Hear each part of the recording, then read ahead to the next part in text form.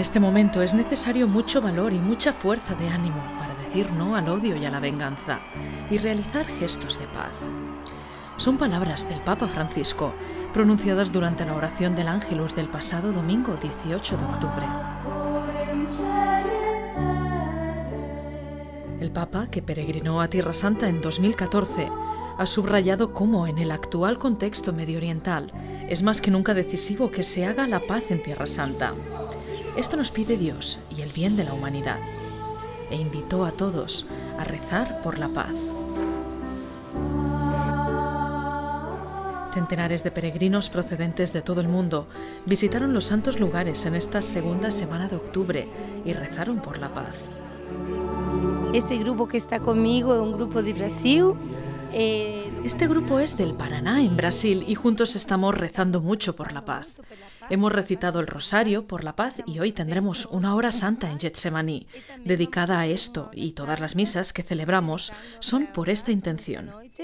Eh, todas las misas nos falamos mucho de paz. Y a nuestra pregunta de si es posible visitar los santos lugares con tranquilidad, ella responde. Certo que dá. Yo estuve con otros grupos este año y acho que... Sí, claro que es posible. Este año he guiado a otros grupos. Es grande el número de grupos de peregrinos que están viniendo aquí. Aunque se habla mucho de peligro, no lo es para los peregrinos que no tiene tanto peligro para los, peregrinos. Aparte de que la peregrinación ha sido preparada durante mucho tiempo, todavía cuando no había esta situación, para mí, para el peregrino no hay peligro. Y aquí rezamos siempre por la paz, para que sea una paz duradera y fuerte. Para que sea una paz duradera y fuerte. Encontramos grupos aquí y allá por las calles de la ciudad santa tomando fotografías, pero sobre todo rezando.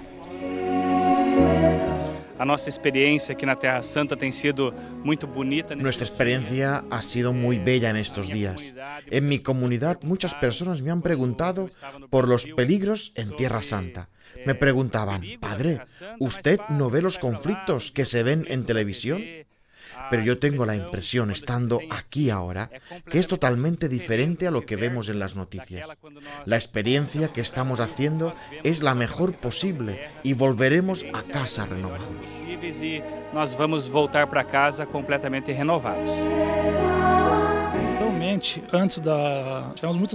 Realmente cada día recibimos muchas noticias nefastas, pero siempre le he dicho que tengan fe, que crean que este es un lugar tranquilo.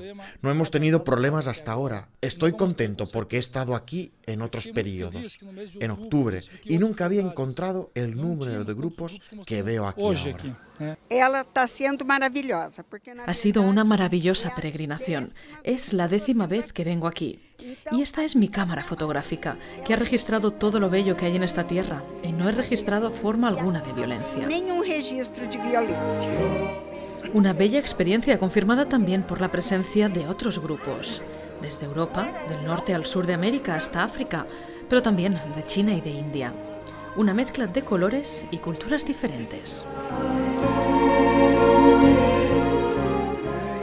A estas palabras del Papa Francisco, es más que nunca decisivo que se haga la paz en Tierra Santa. Esto nos pide Dios y el bien de la humanidad. Responden los muchos cristianos de todo el mundo. Allí estaremos, visitando los santos lugares y rezando por la paz.